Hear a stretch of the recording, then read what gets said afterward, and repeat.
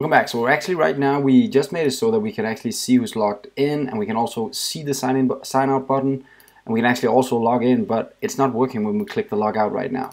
So we need to fix that so it also works when we actually click the button. So let's do that now. The first thing I see is when I go into the auth service that we are still using the local storage here and we do not want to do that because we're not saving anything locally anymore. Everything is being passed on to the Angular Fire service here uh, so what we're going to do is we're going to return an observable again. Now, again, this might not be necessary. Um, I'm kind of considering not doing this, but I really like to have the same flow in all of my different um, things in the service here, where the login returns an observable, this guy, so everyone returns an observable, so I know what to do when I get something back from the log actually. Uh, sorry, the auth service. But it's, it's really up to you. You could also return just a promise as it is.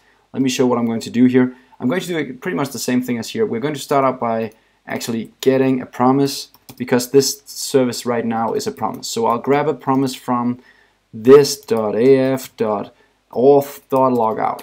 There's a promise returned here. Now this promise, I'm going to wrap that like here into an observable, but the difference between this guy and this guy is the promise here doesn't return anything actually uh, when it's done. It's just void. It doesn't tell you anything. It just tells you it's done. It doesn't return any value. So now we created the logout so it should actually work. Let's try and go to our toolbar component now because here we're actually, as you can see, we're actually right now just navigating. We're not doing anything. And that's because before we were actually doing the login directly inside the constructor inside our login view component or the login component right here. Now I'm going to remove that.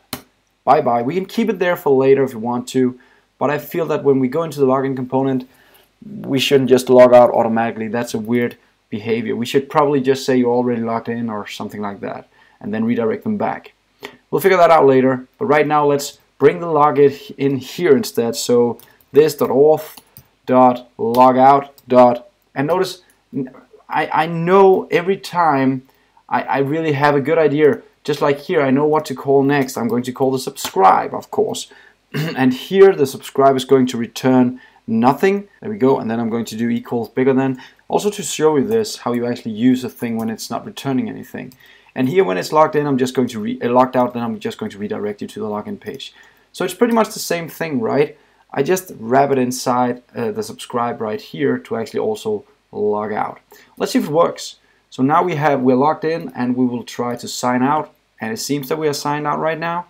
Um, let's just go back to the page and it says sign in now. So it seems that I'm really signed out right now going back and trying to log in here just to see we didn't break that. Now we are logged in. So now the login also works. Let's have a look at the users when we actually don't have access for them and how we can make sure that it doesn't explode like it did earlier. See you next time.